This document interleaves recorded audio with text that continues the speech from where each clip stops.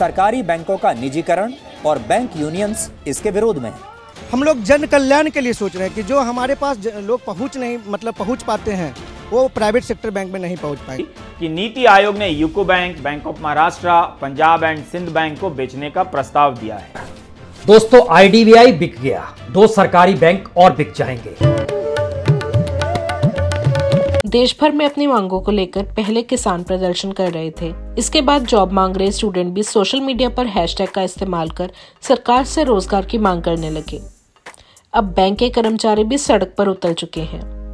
वे भी सरकार के खिलाफ ही प्रदर्शन कर रहे हैं, जिस वजह से दो दिन बैंक की सारी गतिविधियाँ बंद रहीं। दरअसल, केंद्र सरकार की निजीकरण की नीति के खिलाफ सरकारी बैंक कर्मियों ने सोमवार 14 मार्च से दो दिवसीय हड़ताल का आगाज़ किया। सत्ता में आने से पहले मोदी जी ने बड़े बड़े वादे किए और अच्छे दिन लाने का कहा।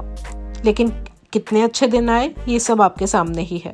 ये चोर लुटेरों से एक एक रुपया वापस लेना चाहिए। इस रुपयों पर जनता का अधिकार है कि नहीं है?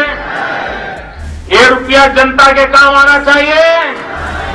अरे एक बार, ये जो चोर लुटेरों के पैसे विदेशी बैंकों में जमा है ना उसने भी हम रुपये ले आए ना तो भी हिंदुस्तान के एक एक गरीब आदमी को मुफ़्त में पंद्रह बीस लाख रुपए यूँ ही मिल जाएगा। कितने रुपये निजीकरण का मुद्दा काफ़ी पहले से चल रहा है और वक्त वक्त पर पत्रकार इस मुद्दे को उठाकर जानकारी भी देते रहे हैं। सरकार एयर इंडिया में अपनी हिस्सेदारी बेच रही है। इसके अलावा कई सरकारी कंपनियों में सरकार अपनी हिस्सेदारी बेचने की तैयारी में है और अब सरकार ने सरकारी बैंकों का निजीकरण करने का भी फैसला लिया है, जिसका मतलब है सरकार सरकारी बैंकों से अपनी हिस्सेदारी बेचने की तैयारी में है। यही कारण है कि बैंक के कर्मचारी हड़ताल पर हैं और सरकार के खिलाफ प्रदर्शन कर रहे हैं। कुछ पत्रकारों ने हड़ताल कर रहे कर्मचारियों से बात की और उनकी मंशा जानने की कोशिश की। पहले तो मैं बता देना चाहूँगा कि पब्लिक सेक्टर बैंक का उद्देश्य क्या था? पब्लिक सेक्टर बैंक का उद्देश्य था जो भी गरीब तबके के लोग हैं, जो दिहाड़ी कमाते हैं, जो किसान हैं, मजदूर हैं, उन लोगों को बैंक से जोड़ना है। यही अगर आप प्राइवेट सेक्टर बैंक में जाते हैं तो आप देखेंगे कि कितने लोग किसान, मजदूर, जो गरीब हैं, जिनका अकाउंट जो है प्राइवेट सेक्टर बैंक में है। तो सबसे पहले हम लोग जन कल्याण के लिए सोच रहे हैं कि जो हमारे पास लोग पहुँच नहीं मतलब पहुँच पाते हैं वो प्राइवेट सेक्टर बैंक में नहीं पहुँच पाएँगे पहला। दूसरा क्या है एम्प्लॉय लोगों में जो भय का भय है कि अगर आज हम प्राइवेट हो जाएँगे तो कल मेरा जो मालिक होगा वो प्राइवेट वाला होगा। प्राइवेट वाला होगा तो क्या सैलरी देगा नहीं देगा ये सारे इशूज हैं। हम ये बोलना चाह रहे हैं कि अगर निजीकरण इतना ही ज़रूरी था या है तो नेशनलाइजेशन क्यों किया गया था? जब 1969, 80, 84 नेशनलाइजेशन किया गया उसके बाद क्या देश की अर्थव्यवस्था अच्छी हुई या खराब हो गई? ये तो समझने वाली बात है। कहीं कहीं बहुत आगे बढ़ी। तो फिर आज ये कौन सा ज़रूरत पड़ गई कि आप इसको प्राइवेट करने पर तुल गए। जो प्रॉफिट मेकिंग बैंक है, उसको आपने लॉस मेकिंग दिखा रखा है। ऑपरेटिंग प्रॉफिट मेकिंग बैंक को भी आपने लॉस मेकिंग बना रखा है। तो ये किसी रूप में डाइस करने वाली बात नहीं। कहीं कहीं आप देश की अर्थव्यवस्था को तोड़ने की कोशिश कर रहे हैं। आपका जो कदम है सही नहीं है, जो आपके सलाहकार हैं, जिसके आप सलाह पर ये काम कर रहे हैं, वो आपको सही सलाह नहीं दे रहे हैं। इससे देश की अर्थव्यवस्था आप दूसरे के हाथ, विदेशियों के हाथ में गिरवी रखेंगे। ये किसी रूप में एक्सेप्टेबल नहीं होगा। आपको बता दें कि कुछ साल पहले तक भारत में 27 सरकारी बैंक हुआ करते थे। अब उनके विलय के बाद 12 बैंक रह गए हैं। इनमें से दो बैंकों को बेचने की बात आ रही है। इसके बाद कितने और बैंक बिकेंगे, कोई नहीं जानता। सरकार तो अपना मन बना ही चुकी है। इस मुद्दे पर अधिक जानकारी सीनियर पत्रकार रवीश कुमार ने अपने शो में दी। 2016 में तत्कालीन वित्त मंत्री अरुण जेटली ने दिल्ली में हुए इकोनॉमिस्ट इंडिया समिट में कहा था कि मुझे नहीं लगता कि जनता और राजनीतिक सोच इस पर एक मत है, जहाँ हम बैंकों के निजीकरण के बारे में सोच सकते हैं। हम ज़रूर बैंकों को मज़बूत कर रहे हैं, लेकिन अपनी हिस्सेदारी बेचने की कोई योजना नहीं है। जेटली के इस बयान के चार साल बाद स्थिति बदल गई। क्या अब जनमत और राजनीतिक वर्ग की सोच निजीकरण को लेकर एक हो गई है? मई 2020 में वित्त मंत्री निर्मला सीतारमण का बयान छपा है कि सरकार एक युक्ति संगत नीति बना रही है, जिसके तहत रणनीतिक क्षेत्रों को परिभाषित किया जाएगा और उसमें चार से अधिक सार्वजनिक क्षेत्र की कंपनियाँ नहीं होंगी। पिछले साल फाइनेंशियल एक्सप्रेस में नीति आयोग से जुड़ी एक खबर छपी थी कि नीति आयोग ने UCO bank bank of Maharashtra Punjab and Sind bank को बेचने का प्रस्ताव दिया है।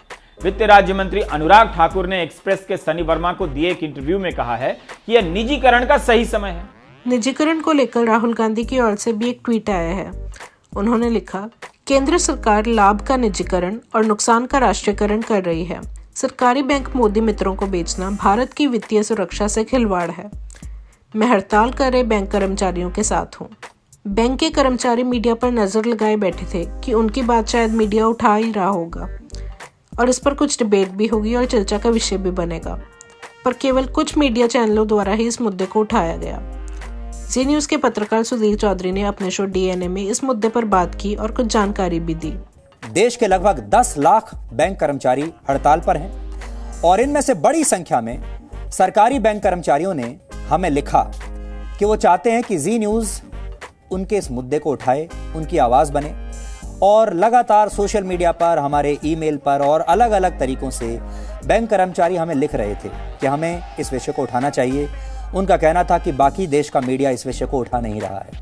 हमें लगता है ये मीडिया का कर्तव्य है कि आज जब हमारे सरकारी बैंकों के लाखों कर्मचारी अपनी मांगों को लेकर प्रदर्शन कर रहे हैं, सड़कों पर हैं। तब उनके मन की बात भी हम देश के सामने ईमानदारी से रखें।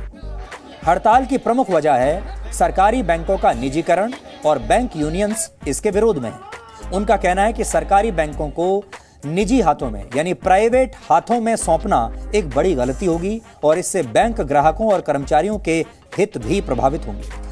हड़ताल के मुद्दे पर कुछ जानकारी सीनियर पत्रकार पुणे प्रसून बाजपेयी ने अपने चैनल के माध्यम से दी।